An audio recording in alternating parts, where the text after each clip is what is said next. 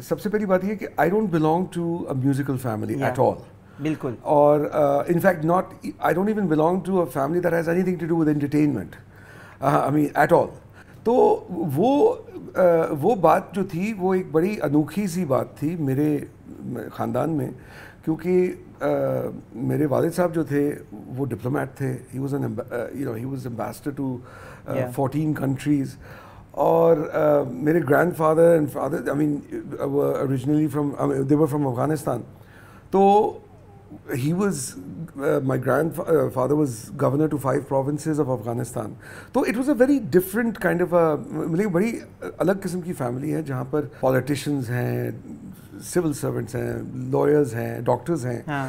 मैं अचानक बीच में क्या कहते हैं I was the black sheep समझ लो यू you नो know? एक साइड हर कलाकार का होता है जहाँ पे जो कलाकार के अंदर की प्रॉब्लम्स होती है या फिर स्ट्रगल्स होती है इंटरनल स्ट्रगल्स जो वो कभी कभी अपनी म्यूज़िक से ज़ाहिर कर देते हैं पर वो बात नहीं कर पाते। ऐसा कुछ था जो आप जिससे आप जूझ रहे थे जिससे आप बैटल कर रहे थे? इस प्रोग्राम का कितना टाइम है? बहुत टाइम बहुत टाइम है। मैं अगर अपनी दास्तान सुनाना शुरू करूँगा तो कल सुबह तक मुकम्मल चलेगा इसके बाद हम लोग बुक लिखेंगे। लेकिन मैं ये दावे से आपको कह देता हूँ कन्विक्शन के साथ मैं आपको ये तसली दे सकता हूँ कि जो कुछ भी अब तक मीडिया में आया है या जो कुछ भी आया जो मीडिया में आया है वो मैं समझता हूँ कि वो दस परसेंट भी नहीं है। क्योंकि उसके पीछे बहुत सारी और ट्विस्ट्स हैं टर्न्स हैं हकीकतें हैं जिनको मैंने बयान करना ज़रूरी नहीं समझा।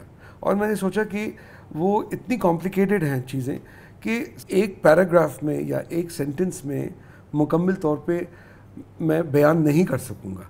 जो लोगों ने गलत सोची हुई है जैसे मेरी सिटीज़नशिप है उसके पीछे एक पॉपुलर कहानी है जो दोनों तरफ़ आ, लोगों ने बनाई है और एक हकीकत है। जो मेरे, जो लोग एक्चुअली इन्वॉल्व थे उसके अंदर, उसकी जो जो अंदरूनी कहानी है, जो हकीकत है, जिससे मैं गुजरा था, वो सिर्फ़ वो लोग जानते हैं जो एक्चुअली इन्वॉल्व थे इसकी हकीकत में। और वो मैं अगर एक सेंटेंस में मैं बोलूँगा तो वो मुकम्मल नहीं होगा।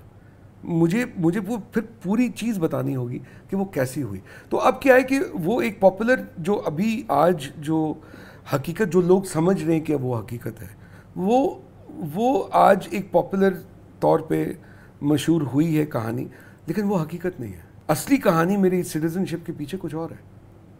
और वो जब आप सुनोगे वो इतनी खौफनाक है कि आप हैरान हो जाओगे दोनों तरफ़। माफ़ी चाहूँगा मैं मुझे बिकॉज़ मैं इस चीज़ पे मुझे एक बार पूछनी है। जी। मैंने पढ़ा है कहीं कहीं और सुना भी है कि उस दौरान जब आपको सिटीज़नशिप नहीं मिली थी पर आपने अप्लाई किया था दोनों तरफ़ को पता चल गया था कि आप इधर के सिटीज़नशिप के लिए अप्लाई कर चुके थे तो आपको एक मुझे मतलब मुझे आप सच बताना हम्म। ये बात आ, मुझे ये सुनने को था कि आपको बहुत सारे डेथ थ्रेट्स भी मिले हम्म। आपके कंट्री से मतलब। आप तो अभी हमारे तो पाकिस्तान से आपको बहुत डेथ थ्रेट्स मिले। और इंडिया और पाकिस्तान के बीच की जो पॉलिटिकल हॉस्टिलिटी है उसके तहत आपको यहाँ पे भी बहुत सारा बैकलैश या फिर जजमेंट फेस करना पड़ा। क्या ये सच है?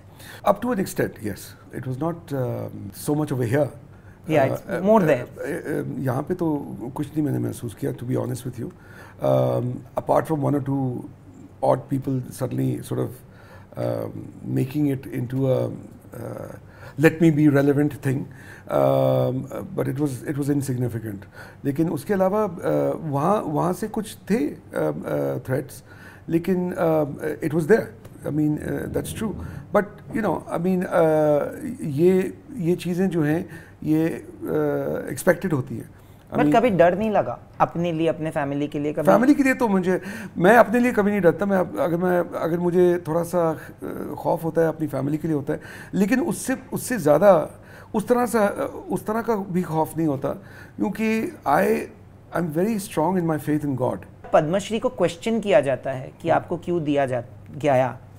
तो आपको कहीं ठेस पहुँची जो उसको एंगल दिया गया एक पूरा। कि आपके पापा का जो एंगल निकाला गया कि आपके पापा पाकिस्तानी है पायलट थे, इसीलिए वो जो इंक एंगल था, क्या आपको उससे कुछ में मतलब कुछ भी फीलिंग हुई? यू सी आपने मतलब कि अगर आपने मुद्दा उठाया है तो मतलब कि थोड़ी सी अकल वाला उठाओ।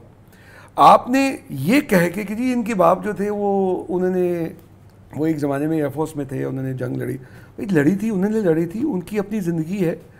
उन्होंने लड़ी थी, उसका मेरा क्या ताल्लुक है? या तो बोलो कि मैंने लड़ी है तो मैं मान दो। मैंने तो सिर्फ़ प्यार दिया तुम्हें। और कुछ और मैंने तुमसे कुछ नहीं मांगा सिर्फ़ प्यार ही मांगा है।